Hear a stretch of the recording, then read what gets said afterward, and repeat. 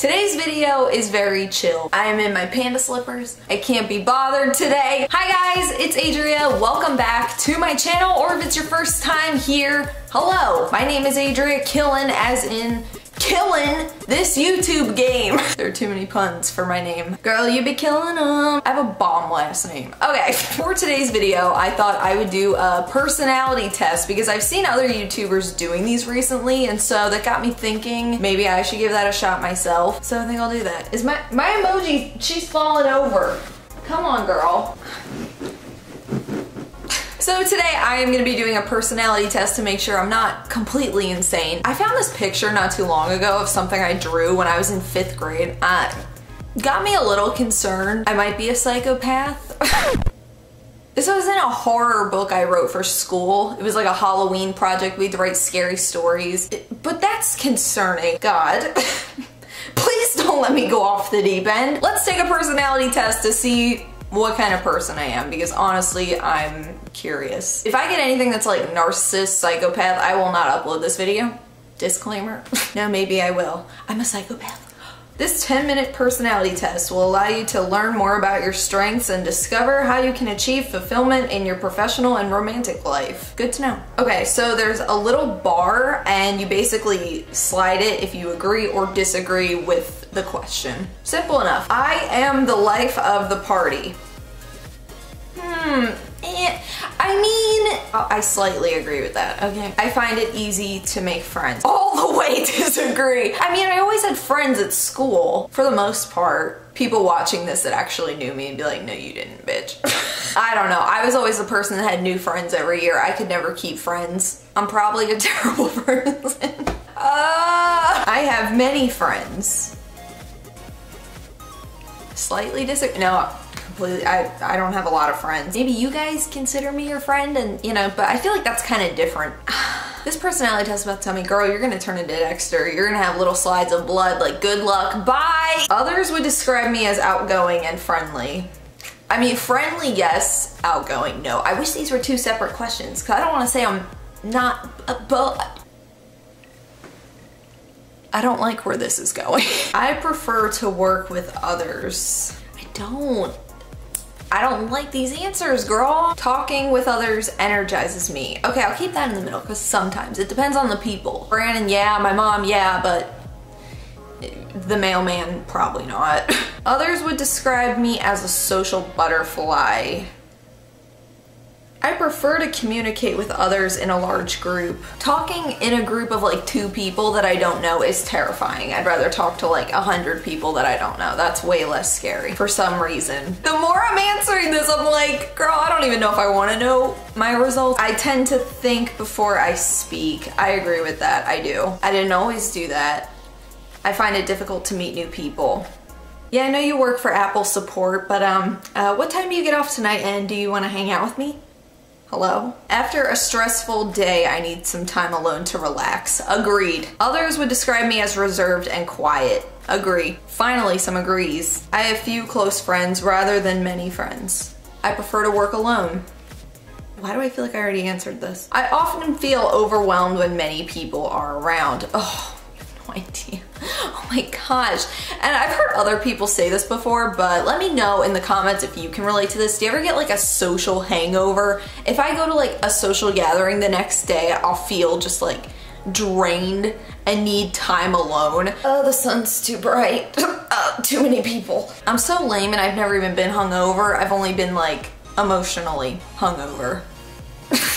I would rather make the right decision even if it means hurting someone else's feelings. Oof. I guess it kind of depends on what that decision is. Oh, you can answer these along with me, girl. Like, think about what you would say because when I feel strongly about something, I don't really want to just give in to it just for the sake of sparing somebody's feelings. As bad as that may sound, you know, if it's something that I'm really passionate about, listen, I don't care what your feelings are. This is how I feel, girl. I, I agree with that. When someone has a problem, I start by offering advice rather than emotional support. It's kind of a peeve of mine sometimes if I'm like venting to somebody and they just immediately start telling me like what I should do. And I know they mean well. I think sometimes it's good to just kind of be that shoulder to cry on for someone if they're going through something rather than being like, well, I think you should do this. First of all, eight life hacks that'll change your life. It's like, can we talk about that later, please? At the beginning of a meeting, I like to get started working right away. If I'm there, like, let's just get down to business. Let's get down to business. I'm not here to shoot the breeze. Like, let's just talk about what we gotta do and get it over with. Get her done. I seek out feedback from others, even if I know it may be negative. It's a tough one because then you could bring YouTube into this. Like,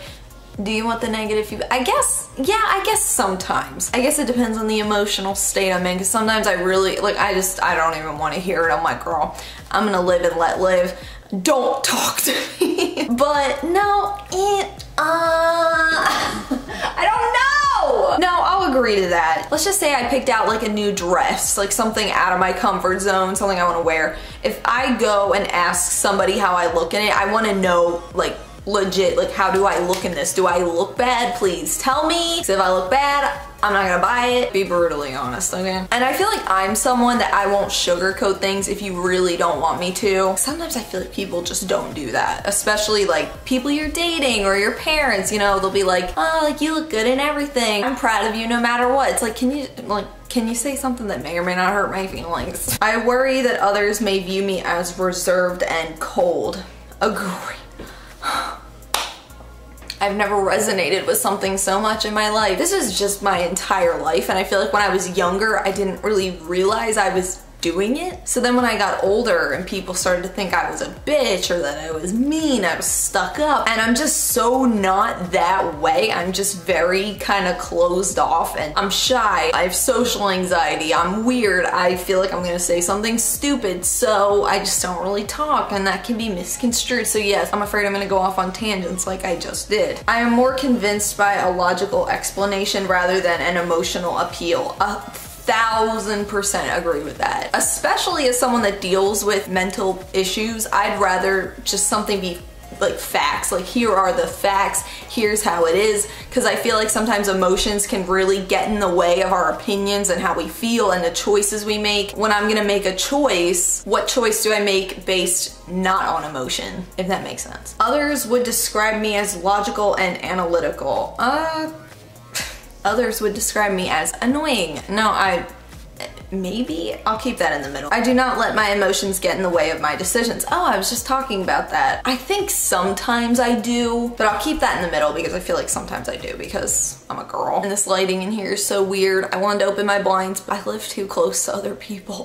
when others are sad, I get sad. Agreed. I don't, I don't like it when people are sad. To me, building relationships is critical in the workplace. Yeah, I'll agree with that because I feel like if you don't at least just get along with people, you're gonna have a miserable time. I often react emotionally to feedback. Half and half there. I worry that others may view me as mushy and over emotional. Agree. I feel like I'm a good amount of emotional, but I don't feel like I'm over the top emotional. But I've had people be like, she cries too much. And like, I don't know, that sort of thing. And I'm just like, I really don't feel like I do. I feel like sometimes that's all people see. I try to keep it together. Compassion is more important to me than fairness. Oh, that's hard. Oh, that's hard. What do I pick? Compassion is more important to me than fairness. I, I mean, I guess so. You know, life's not fair. Others would describe me as compassionate and empathetic. Uh, I agree to that. I am traditional.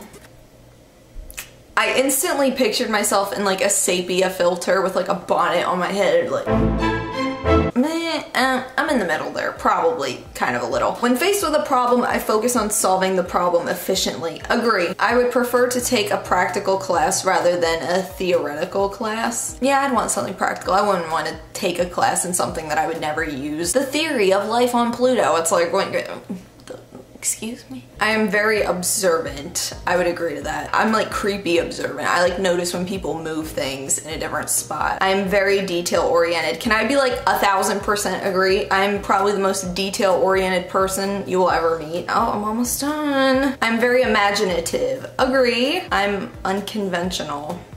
I'm thinking about the stuff I post on Snapchat. Yeah, I would, I'm a, I'm a tad unconventional. I often get wrapped up in my own thoughts and forget about what's going on around me. Oh.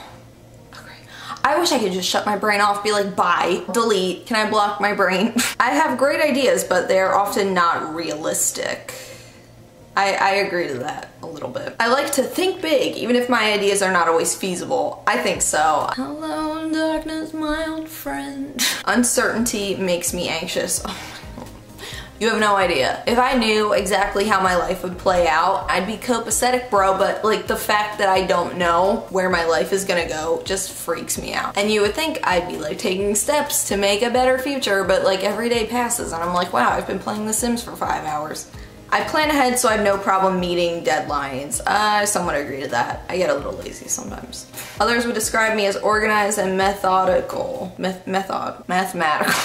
I, I, would at least like to think that they do. I am almost never late. I, I, I was born on my due date, girl. Your girl has never been late. I am adaptable. Somewhat disagree to that. I'm a creature of habit. Breaking the habit. I'm not one that does that. I take frequent blur- I mm, no. It's time to view my results. oh my gosh, wait.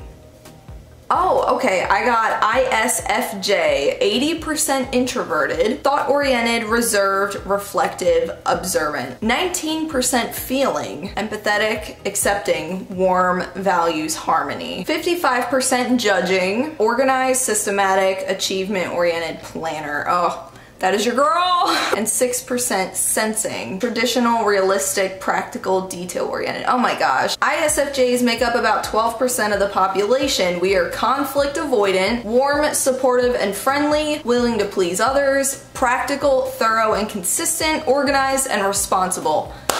Okay, oh, well, I mean, it didn't tell me that I was a sociopath or that I was gonna become Dexter, so that's good. I feel like that would be a different kind of test though. Am I a sociopath quiz? Naturally practical, dependable, and flexible when interacting with others. They are warm, kind-hearted, and generous. They enjoy nothing more than spending time with friends and family. They are accepting of others, but often hold grudges against those who have wronged them in the past. I try not to, but I feel like I do. They have the ability to develop strong bonds with others very quickly. They also have the ability to connect with animals and children easily. Kind of disagree with that. I don't connect with children very well. Mm, maybe I would if I tried. Most people are afraid of spiders or heights. I'm afraid of small children.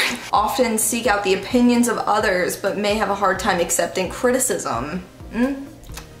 Yeah, yeah, a little bit. So that was really interesting and cool. I don't know if you guys have ever done a personality test, but I highly recommend it if you haven't. I feel like I just learned a bit about myself. I kind of understand why I am the way that I am now. I hope that you guys enjoyed this video today. If you did, don't forget to give it a thumbs up and let me know down in the comments below anything. What did you eat for breakfast today? Something. And if you want, you can find me on all my social media. All of that is down below. What do you want for Christmas? I want the Jeffree Star Holiday Collection.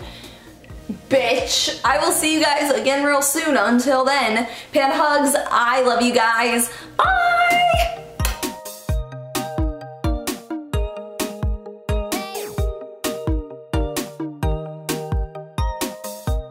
Everywhere I go, my toilet's busted. I don't even know. Why? Why?